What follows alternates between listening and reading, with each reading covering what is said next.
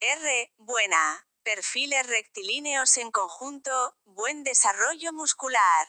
Cadera, muy desarrollada. Lomo, aún grueso pero menos ancho a la altura de la paletilla.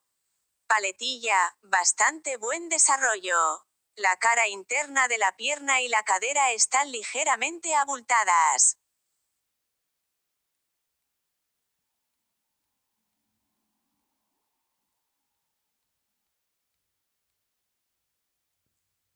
1. Débil. Cobertura de grasa inexistente o muy débil.